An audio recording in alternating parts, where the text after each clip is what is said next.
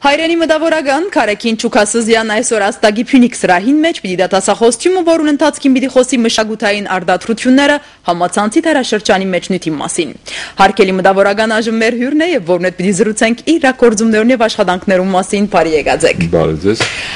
Մենք առաջներտիմ դուզենք իմանալ թե ինչ կուզեք ասել մշակութային արդատրություններ բնորոշումով։ Ասեմ, ուրեմն երբ որ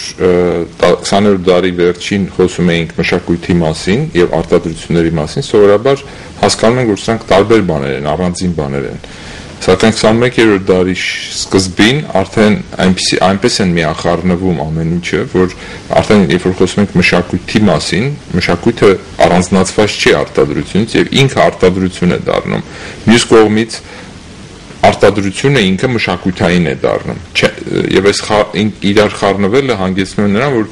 այնպեսի, ասենք, երկիր, ինչպես ասենք, Մեծ Բրիտանիան է, Միացյալ Թագավորությունը,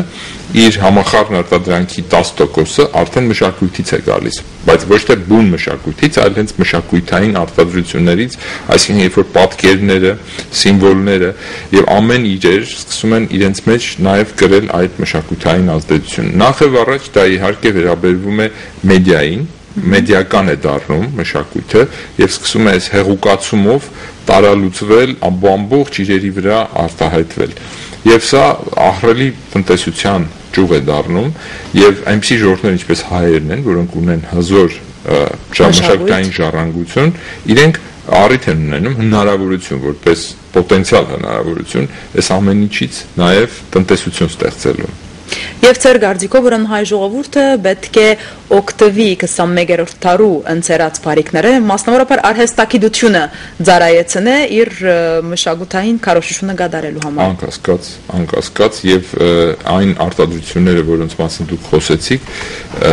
մենք այսօր ցույց ենք տալու որոշները, թե ինչպես կարելի է մշակութային ժառանգությունը վերածել արդեն այսպես բազմացվող նոր էլեկտրոնային միջոցներով նոր սկավառակների, նոր հանրագիտարանների, որոնք հետաքրքրություն ներկայացնեն ոչ միայն հայության համար, այլև աշխարհի համար։ Քանի որ առաջ նաև դուք աստագի մամլոմեք լսարանին ներկայացի կոմիդասի նվիրված ծեր սկավարագը, իսկ այսօրվան թեման պիտի լադարբեր, պիտի խոսիկ ծեր մույս աշխատանքներում մասին նաև։ Ես դուզեմ գարչ հագիրճ անդրադառնանք եւ ես նաև գրգռնամ ցույց տալ մեր ագընթիրներուն այն սկավարակները, որոնց մասին կխոսենք, առաջինը որ պիտի տեսնենք կոմիդասի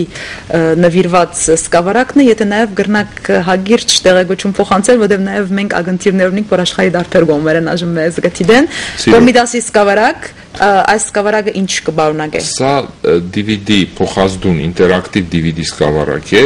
որի վրա կա կոմիտասի կյանքին եւ գործին նվիրված մի ամբողջ հանրագիտարան։ Այստեղ կա մոտավորապես 600 կատարում, այստեղ կան հարյուրավոր, մի քանի 100 լուսանկարներ, կան հազարավոր էջեր, այդ թվում նաև կոմիտասի նամականին, կոմիտասի բանաստեղծությունների հատորը, կոմիտասյան երկերի խոսքերը եւ նոտաները, որոնք մարդ կարող է ոչ միայն պաստառի վրա տեսնել, այլև կարող է լսել, բայց նաեւ կարող է տպել այդ ամեն ինչը եւ թղթի վրա ունենալ եւ նվագել։ Այսինքն մի փորձել ենք մի տեղ փորձել հավաքել կոմիտասյան ժառանգությունը եւ կոմիտասին վերաբերող ժառանգությունը։ Կարելի է ասել, որ հանրամատչելի սկավարակ է, այսինքն բոլոր տարիքի եթե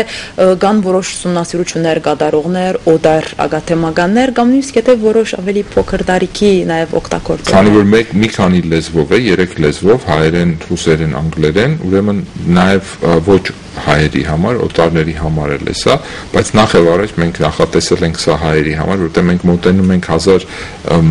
2015 թվականին Եղեռնի 100-ամյակին եւ մենք կարծում ենք, որ այս առաջիկա տարիների ընթացքում մեր ժողովուրդը պիտի պատրաստվի նշելու կոմիտասյան օրը, որը պիտի դառնա ավանդական օր, երբ որ ամբողջ հայ ժողովուրդը միասին պիտի երգեն։ Դրա համար սա նաև միջոց է կոմիտասյան երգերը տարածելու, որպեսզի մեր հատկապես երիտասարդ ծերունդը հեշտությամբ 5-ից 10 երգ սովորի եւ մենք ունենանք այդպիսի կոմիտասյան փառատոնի օր, երբ որ համայն հայությունը թե Հայաստանի մեջ, թե աշխարհի մեջ այդ օրը հատկապես 2015 թվականին երկելու են կոմիտաս միացյալ Բնականաբար յուրաքանչյուր աշխատանք, յուրաքանչյուր հայ նաև իր ասեմ արդատրություն, որովհետև բարի օգտագործենք իր արդատրությունը գուզե դարայեցնել նաև հայկական ցեղասպանության միջազգային ճանաչման։ Եվ նաև բնական է, որ այդ նպատակով պատրաստված էր հայկական ցեղասպանության նվիրված հadoop սկավարակը, նաև խոսենք այս արդատրության մասին։ Սա նույնպես հանրագիտարան է, որը մենք ստեղծեցինք 90-ամյակի առիթով եւ ներկայացվեց համաշխարհային մրցույթին էլեկտրոնային բովանդակության մրցույթ կա, որը աշխարհի ամենանշանավոր մրցույթն է, այսպես ասած Օսկար մրցույթը մուլտիմեդիայի ասպարեզում, եւ 2005 թվականին մեր երկու սկավառակներ մեծ եղերնի նվիրված եւ Արամ Խաչատրյանին մասնակցելով մրցույթին կարող եմ ասել 20000 նախագծերի մեջ 6 փուլ անցնելով ժյուրիի 36 անդամների միահամուր որոշումով Արամ Խաչատրյանը ստացավ գլխավոր մրցանակ, իսկ Մեծ Եղերնը ստացավ հատուկ մրցանակ։ Բարոն Չուկասյան, ինչ ասենք նկատառումներով ընդրացիք Սևենք թե Արամ Խաչատուրյանը, ինչու համար Արամ Խաչատուրյան։ Իհարկե Արամ Խաչատրյանի երաշտությունը եւ կյանքը սովետական վեխորթային միության գործանումից հետո շատ առումներով մոռացվել էր եւ անգամ ձևավորումը եթե տեսնում եք, եթե հիմա ցույց տակ, սև ֆոնի վրա կարծես Արամ Խաչատրյանը բացում է։ Պետք է ասել, որ հատկապես Ռուսաստանում, որտեղ ինքը շատ մեծ հեղինակություն էր խորհրդային տարիներին, վերջի 20-ամյակում լույս սկսեցին տեսնել հոդվածներ, որոնք սկսեցին նվազեցնել ստորադասել Արամ Խաչատրյանի արժեքը համաշխարհային իմաստով եւ մեր նպատակն էր կանգնեցնել մի կողմից այս բացասական ընթացքը, մյուս կողմից իսկապես այն արժեքը, որը պիտի շարունակվեր խորհրդային միության ավարտից հետո եւ Արամ Խաչատրյանն այդպիսի մեծություն էր նորից վեր հանել այս արժեքները արդեն նոր հողազդուն միջոցներով համակարգչային միջոցներով եւ դա է նպատակը։ Ես կարծեմ որ հավել նաեւ ավելի լայն առիթ պիտի ունենան ագընթիրները ներկա գտնվելու այսօրվան լսարանին, այսօր երեկոյան աստագի Փյունիկ սրահի մեջ խոսելու այս մասին հագիրճ վերջին արդյոք ձեր գարձիկով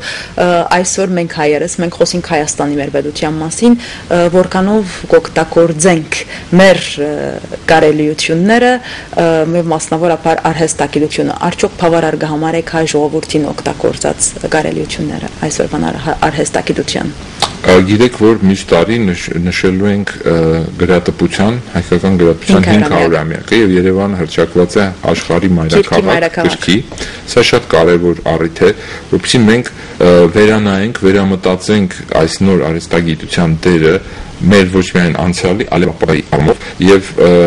հայերը եղել են այն ժողովուրդներից, քիչ ժողովուրդներից մեկը,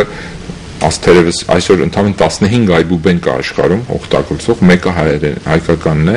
եւ գրատպություն ունեցող տասնյակի չափ ժողովուրդ կա, որ 500-ամյակ կարող է նշել,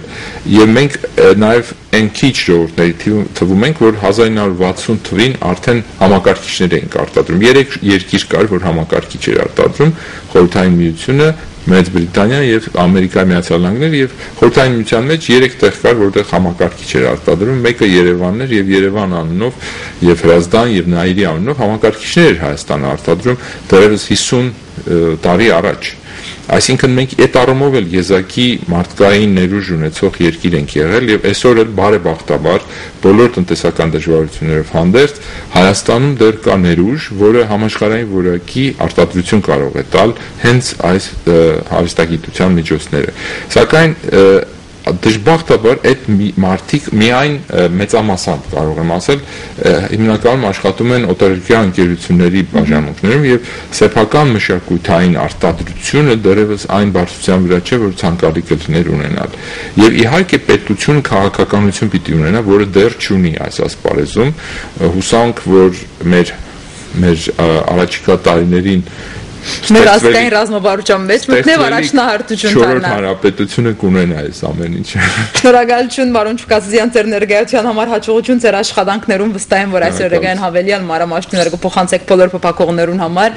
Հարկելի ագնտիներ այսքան այսօրվան համար մեր հաղորդումը ասավ իր ավարտին, վաղ սովորական ժամուն մենք ցեզի հետ կլանք սովորական լրատվությամբ ցտեսություն։